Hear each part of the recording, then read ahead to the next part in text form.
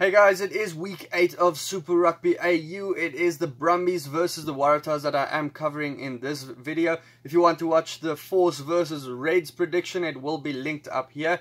Uh, it is already out. Otherwise, you can just find it at the end of the video. I am trying something a little bit different in the approach to the Australian games since it isn't finding a lot of traction. So if you do know people that loves Australian rugby, rugby please share the video with them.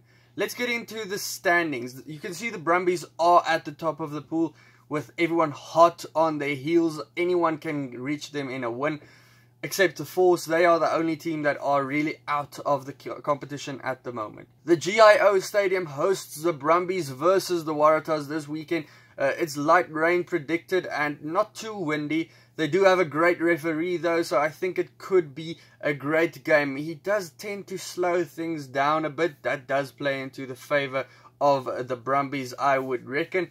History does favour the Brumbies. The Waratahs haven't beaten them since March 2018.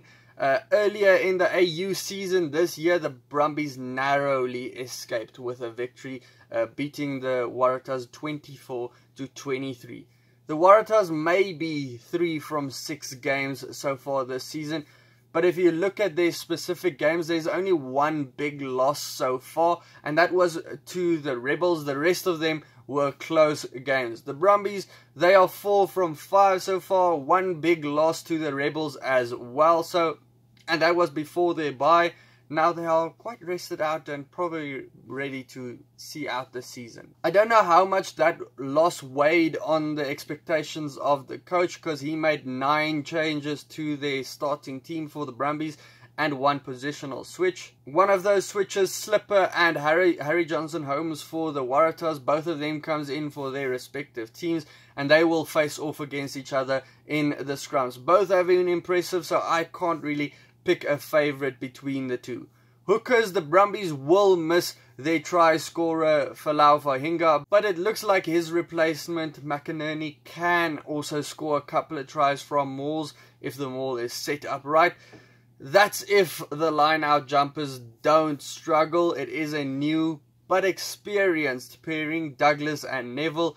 They are up against Simmons and Hanigan, who will look to disrupt them in that facet of play. The Waratahs, they stick to a tried and tested loose forward combo.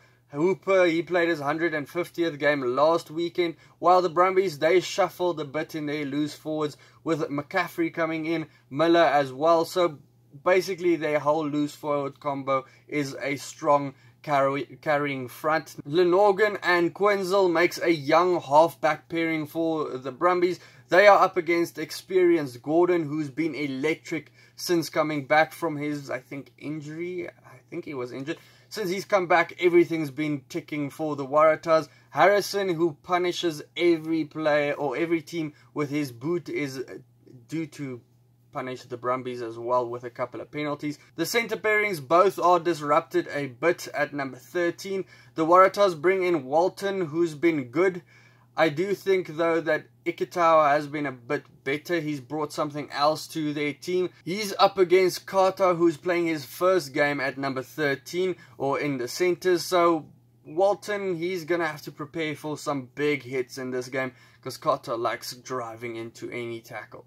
Out wide, the Brumbies pick their strongest combo, I would say uh, with Andy Muirhead and Wright coming in, with Banks at fullback. How much they will get the ball with Carter at number 13 remains to be seen because I do have a feeling Carter will take it in every chance he gets.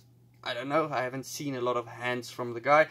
Waratahs, they back their trio that has gotten better over this last couple of weeks. I in the in the first couple of weeks you just knew Maddocks who's been great all along but Ramm and Newsome, they've announced themselves as well. Ramm just gets a gap anyway. Newsome can round off any try in great, spectacular form. So that's guys to look out for them. The Brumbies didn't stop their changes in their first starting team.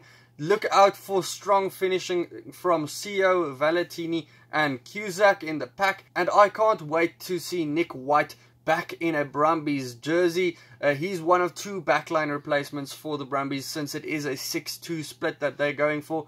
You can see they are trying to dominate up front in this game. The Waratahs, they will look to guys in red, I would say, for a strong finish. The prediction, though, this one is actually more difficult than initially anticipated. The Brumbies made a lot of changes, which usually sways me in the other team's direction. But they had two weeks to to prepare for this game. How does that change things? I see the Brumbies as, as uh, having a slight favourite in the set plays. The backlines, it is a bit disrupted, but I think it isn't disrupted enough for them to lose.